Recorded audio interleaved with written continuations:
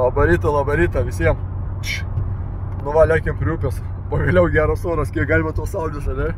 Tai dabar tik tai 19 laipsnių. Debesukai, saulės ne- nesimato. Tai matysim šiandien margašonių bent jau vieną iškrapštyti kokį rimtesnį. O šiaip svarbiausia, man šiandien išbandyti naują spiningėlį. Va, vakar Tomukas atvažiavo į Klaipėdą atvežė. Va, daivokį piurelistą. Tai prekybo dar nėra, tik užsakė pabandymų, tai jeigu paės, tai bus daugiau tikrai. Iš pirmo žvilgsnio malonus pinigėlis, labai primena man mano simą, kurios nėra jau prekyboje seniausia, tai va, dideli tokie žiedai, tokie, dar padarytas japoniškas, toks senovinis stilius išlaikytas, labai kol kas rankos smagiai jautis, tai va. Kaip, o kaip, kaip laikė žuvį, kaip ką, tai pažiūrėsim prie upės, tai va, kol kas visiems linkėjimai, gražios dienos, skanios kavos, tai va. Jei bus nuo upės informacijos, būtinai atsiųsiu, davai, hebra. Žodžiu, kamera nusėdo, kaip tik po tokią akimirką. Nežinau čia, karočią, kokį čia dydžio. Dar pamatuosim, bet čia eiktų šernas, apžiūrėk. Kokį storį pasprandas, kokie taškai. Belė kas. Spiningiukas puikiai atidirba. O, pažiūrėk. Va. Eiktų savo kokį dydžio monstras. Belė ką čia, PM5 koks. Eina našta. O PM8, net nežinau, hebra. Belė kas, labą dieną. Pažiūrėkit. Hebra, karočią, kaip visada. Levėme akimirką, nusėdu kuproškę. Dar žodžiu įkaliau monstrą gerą. Pavyko nufilmuoti su, telefonu paleidimą viską. Spinningiukas naujas atidirbo kuo puikiausiai. Tikiuosi, biškai net pavyko nufilmuoti tą jo įmimą, žinot. Tai vaizdas buvo tai nerealus. Kibimas vyko iš video palikojęs. Stoviu, stoviu, žiūriu, pareina. Prieš tai bulkavo labai. Nu ten nerealiai bulkavo.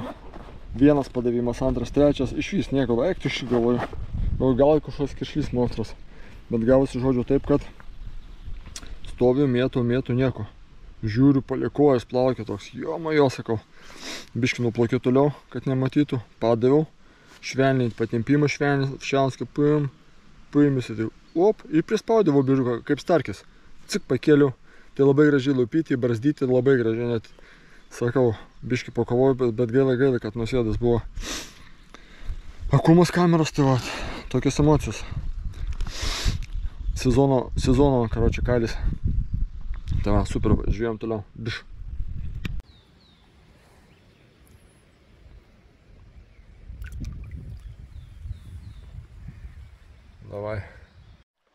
Nu ką, Hebra, norėčiau pašnekėti šiandien apie daivos pinigėlį. Jau žvyba į pabaigą, pagavau žuvies, pagavau mažesnių, pagavau vieną gerą monstriuką, pamatysit video.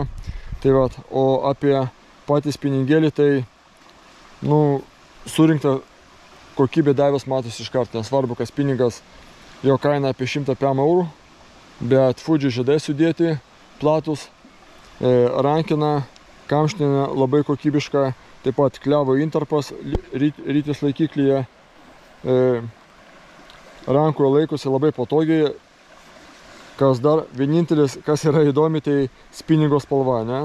Nu tokia rūda, bet čia tikrai, nežinau, man tai nekliudo. Tai va, ar vertas pinigų? 100 PM eurų, manau tikrai vertas. Taip pat, nežinau, su papildomu lakų sluoksniu, jis tikrai nebus toks trapus kaip kitų žinomų mum gamintojų pinigai, žinai. O favoritui, arena streamui, tikrai dametus ke- kelias dešimt eurų, tikrai gera svara ir aš rinkčiaus būtent daivą šiuo atveju. Tikrai geras modelis, vertas dėmesio, tai va kažkada padarysim galbūt didesnį apžvalgą su juo, kai pažvėjosim daugiau. Norėtų su juo pažvėjoti ne tik šiltą dieną, bet ir kada šalta. Ir norėtų pažvėjoti, sakau, kitokiom sąlygom, bet dabar žuvį laiko puikiai, žvakės gisina puikiai, maslą jaučia gerai, metasi gerai, taikliai metasi iš visų metimų, nežinau, šiandien nebuvo tokio ne vieno metimo, kad meščiau, te, kad meščiau ten, kur noriu, maslas kristų į belikur. Tai va, sakau, kokybė davė garantuoja. Kai už tokią kainą, tai čia fantastika šiais laikais.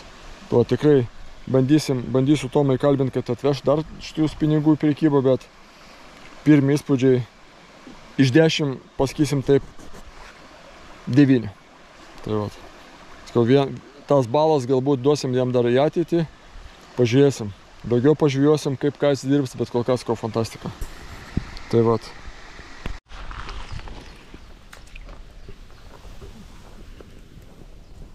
Buožgalvių gyvenime.